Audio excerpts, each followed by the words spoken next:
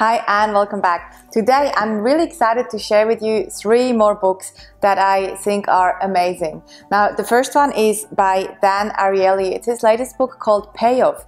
Dan Ariely also wrote a book called Predictably Irrational, which is another must read.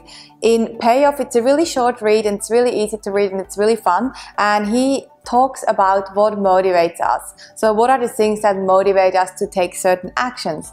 Another book that I just recently finished and again this is probably one of my favorite newest books that I've just read. is called Invisible Influence by Jonah Berger. Again, Jonah Berger has another book called Contagious, which is also one of my favorite books.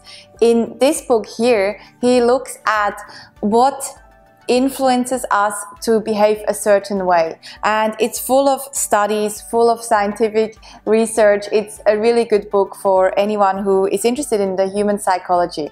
And the last book that I will share with you is a fiction book by Nick Cave. Now, this one is called Bunny Munro. Nick Cave, of course, is an incredible artist, an incredible musician, and he is a, very quirky character, as you maybe already know. This book here is a great fiction book. It's really easy to read.